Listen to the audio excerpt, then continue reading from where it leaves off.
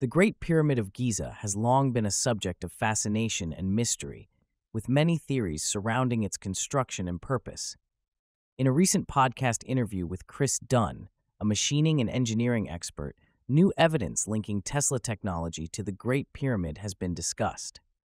Dunn theorizes that the Great Pyramid of Giza is a solid state electron harvester that gathers electrons from Aus rock deep inside the Earth and creates microwave energy. He also suggests that there was a huge hydrogen explosion inside the king's chamber, potentially occurring during a cataclysmic event 12,000 years ago. The discussion delves into the details of the Great Pyramid, including the different chambers and shafts. Dunn explains that the Queen's chamber had two shafts, one of which was found to have a crack leading to an open space. Further exploration revealed a blockage at the end of the shaft, as well as metal fittings and corrosion on the pins. Dunn's research also includes a model experiment in which he recreated the conditions of the shafts in a lab setting. By introducing chemicals and creating a reaction, he was able to demonstrate the potential function of the shafts in producing hydrogen. One of the most intriguing discoveries is a previously undisclosed opening in the northern shaft, located about 98 feet up. This opening raises questions about the delivery of chemicals into the shafts and the potential function of the space outside the pyramid. The discussion also touches on the significance of the salt encrustation found in the Queen's chamber, as well as the presence of symbols and markings on the chamber floor. These findings hint at the potential electrical and chemical processes that may have taken place within the pyramid. Dunn explains that the Great Pyramid is not just a simple structure, but rather a complex system that may have been designed to harness and distribute energy. He discusses the presence of bends and steps within the pyramid, which he believes are intentional and serve a specific function.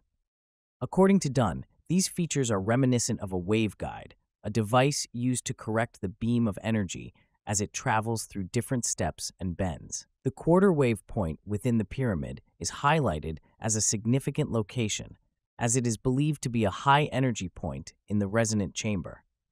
Dunn also points out the specific positioning of the pyramid's shafts, which he believes were designed to avoid interference with the Grand Gallery and to pass energy through the structure. The podcast also delves into the potential connection between the Great Pyramid and Tesla's technology. Dunn introduces the concept of the Tesla connection, which involves the release of electrons from the lithosphere and the distribution of energy through a dome-like structure. This theory suggests that the pyramid may have been a massive energy manufacturing site, drawing energy from the Earth's lithosphere and distributing it through a Tesla-like system.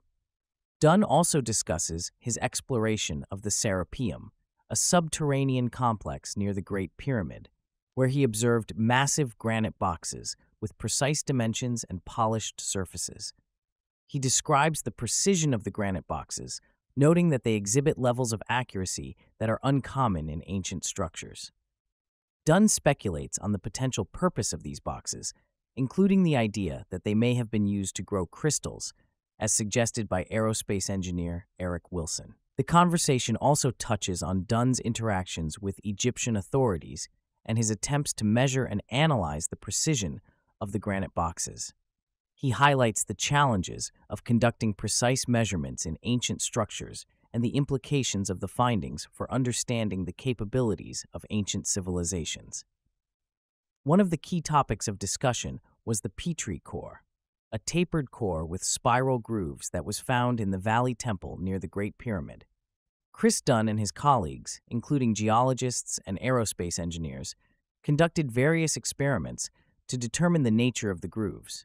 They wrapped threads around the core and used high-powered readers to inspect it, ultimately concluding that the grooves were indeed spiral, contradicting previous claims that they were horizontal. In addition to the Petrie core, Dunn also discussed the Giza power plant theory, which proposes that the Great Pyramid was a solid-state electron harvester. He explained that the precision and resonance of the granite used in the construction of the pyramid suggest advanced technological knowledge and capabilities. Dunn also highlighted the significance of ellipsoids in Egyptian statuary, and their potential connection to advanced engineering techniques. Another intriguing topic of discussion was the examination of a pre-dynastic vase, which was found to have incredibly precise features that seemed beyond the capabilities of ancient Egyptian artisans. The vase was scanned using structured white light scanning, and the resulting STL file was analyzed by a researcher in Spain, who concluded that the vase appeared to have been made using computer technology. Throughout the podcast, Dunn emphasized the importance of conducting thorough metrology examinations of artifacts in Egyptian museums to validate his findings and dispel any doubts or skepticism. He also encouraged Egyptian engineers to take the same steps and conduct their own examinations to further explore the mysteries of ancient Egyptian technology.